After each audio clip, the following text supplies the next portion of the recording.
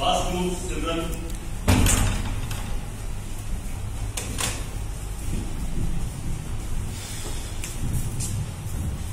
रखना नहीं है बचाना है अपने आप बट मूव फास्ट